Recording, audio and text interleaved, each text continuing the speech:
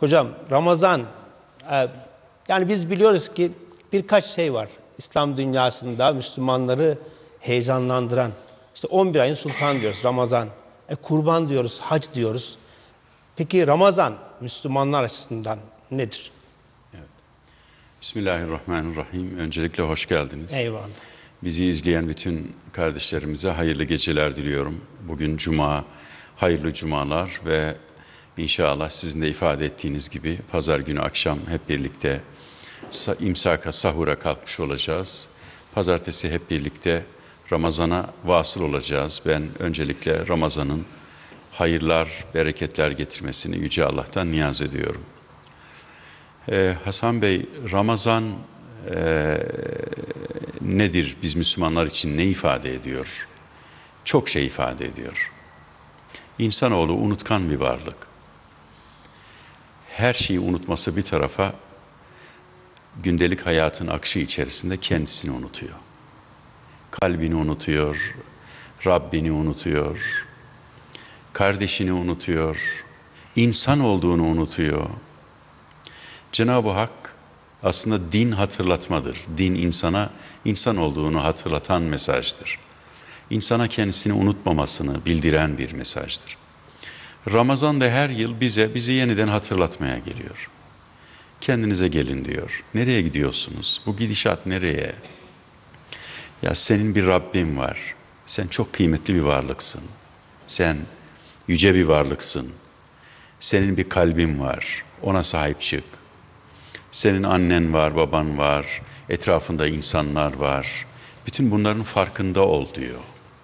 Bütün bunların farkına vararak bir hayat yaşa diyor. İşte Ramazan'ın bize en büyük getirdiği en büyük nimet bize bizi hatırlatmak. Nefsinize esir olmayın diyor. Kendinize köle olmayın.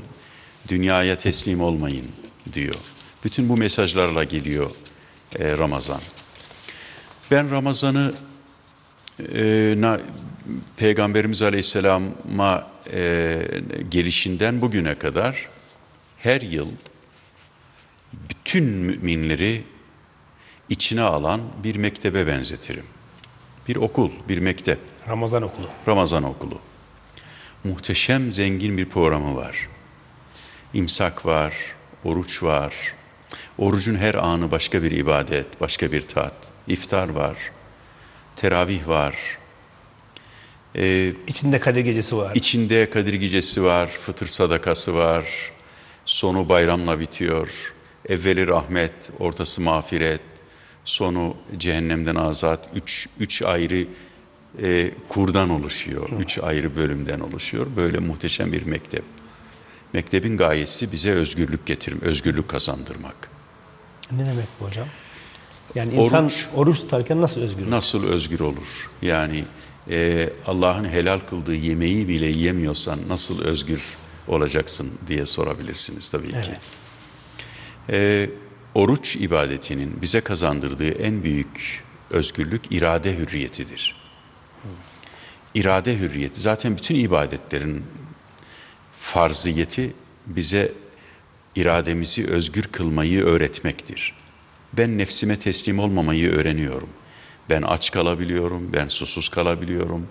Ben Rabbimizin haram kıldığı, Rabbimizin helal kıldığı bazı şeylerden kendimi uzak tutuyorum.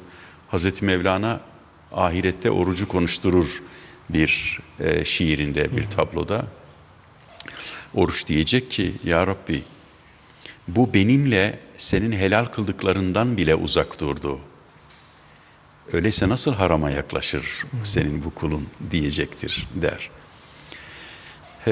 Ramazan kelimesinin sadece etimolojik manası bile bize çok şey veriyor. İki kökten gelir. Ramat ve ramda. Ramat kavurucu ateş demektir. Bu manayı verdiğimiz zaman bizde var olan bütün kötülükleri yakıp kül eden bir ay manasına gelir. Ramda ise o sonbaharın e, seri yağmurlarına ramda denir. Yazın ortaya çıkan bütün o tozu, toprağı alıp götüren yağmurun adıdır. Bizim de yüreklerimiz tozlanıyor, topraklanıyor. kalplerimiz pas tutuyor, nasır tutuyor. Efendim e, duygularımız e, köreliyor. İşte e, hem bir e, kavurucu ateş gibi gelip bütün kö- bizdeki kötülükleri alıp götürüyor. Hem de Hem de o yüreğimizin, kalbimizin, duygularımızın, ruhumuzun üzerindeki pası, kiri hepsini tertemiz yapan bir yağmur gibi e, geliyor. Gerçekten e, biz de hem ümmet olarak hem insanlık olarak o yağmura muhtaç, e, çatlamış toprak gibi ona hasret kaldık. İyi ki Ramazan var ve Ramazan inşallah e, hem bütün bu güzellikleriyle gelir hem coğrafyamızda hem de bütün insanlığımızda yaşanan bu acıları, bu kötülükleri e, beraberinde alır götürür diye e, Rabbimize niyaz ederek başlamış olalım. Ee, tam da burada şunu da sormamız lazım sanırım. Ee, evet Müslümanlar için Ramazan 11 ayın sultanı ve biz orada özgürleşiyoruz dedik. Aynı zamanda kendimizi terbiye ediyoruz. Oruç tutuyoruz çünkü ve bir sürü ibadetler var. Ee, ama İslam dünyasında şu anda ben buhran diye tanımlıyorum ama siz nasıl tanımlarsınız bilmiyorum. Ee, Ramazan iklimi bu e, kötü günlere e, dur demek için e, bir e, vesile olur mu? Bütün e, kötülüklere rağmen, bütün acılara ve ızdıraplara rağmen e, biz şöyle demeliyiz. İyi ki Ramazan var. Ya bir de o hiç olmazsa, bütün o acıların içerisinde, o zulümlerin içerisinde inleyen insanlara ya bir de o Ramazan gelmese, o zalimleri Ramazan gelip kuşatıp en azından o, onda o insan neticede insandır. O insanda var olan bazı duyguları, bazı düşünceleri harekete geçirecek diye umut ediyoruz.